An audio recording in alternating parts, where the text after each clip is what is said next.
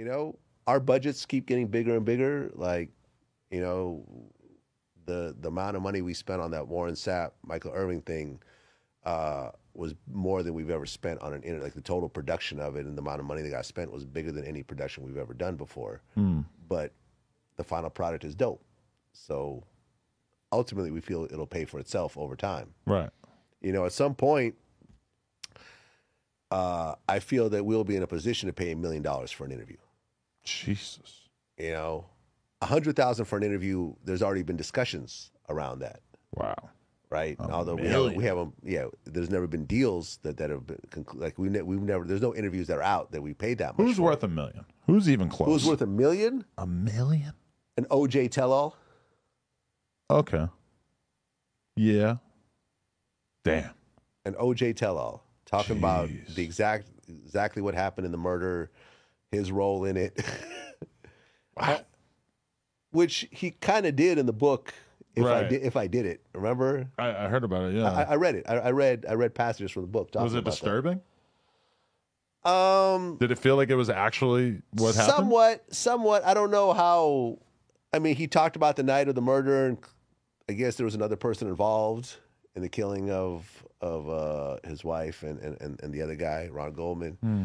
Um, you know, for OJ to sit down and say, "I'm going to tell you exactly what happened at every point in detail."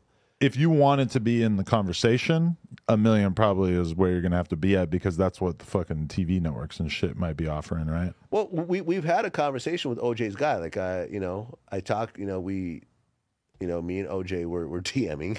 You know, essentially. I, I DM'd him too. That's funny. Right, And. I got a nice civil response. Who knows Yeah. if it was him or an assistant, but saying Yeah. I'm not doing interviews at this time, but I'll let you know well, the well, he actually referred the guy that handles that, and me and the guy had a conversation, and we were talking about doing the interview, and we were talking about you know in the in the six digits, but but there his thing was that OJ doesn't want to talk about the entire year that the whole murder occurred. He just wants that Yeah. taken out of the conversation. I'm sure he like- would want that. Yeah. Well, I'm not paying 100 grand for fucking you not talking about the interesting well, part It wasn't life. hundred grand. It was more than hundred grand. Okay. So so I'm not gonna spend that ty- type of money and have that black hole, you know, just be Yeah, empty, empty from that. Listen, you know, we when we interviewed Sammy the Bull, Right. we paid a significant amount of money for that interview, and there was, it took two years to put that interview together because they didn't want to do the interview we wanted to do.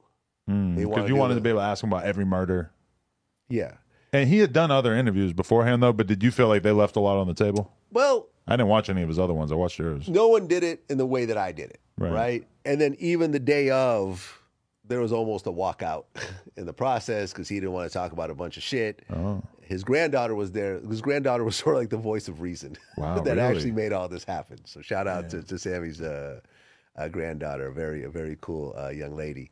Uh, but it was like when we got down to it, the final compromise before we we turned on the camera was we could talk about everything except for the murder of his brother-in-law, his wife's uh, brother, oh, and the whole ecstasy bust in Arizona, which he had a deal I think with National Geographic to talk about that. wow. So I'm like, okay, I can live with that. Yeah. I can live with excluding those two things, but everything else, I'm I'm asking about. Wow. And, and he answered, Yeah. and the interview was huge. You know, the full interview is always like in our trending, you know, trending list on, you know, even months after, like millions and millions of people watched it. And although he's done other interviews, it's just not the way I do it. Right. And- my audience, and my thing was like, I'm going to give my audience what they expect from from me. Right.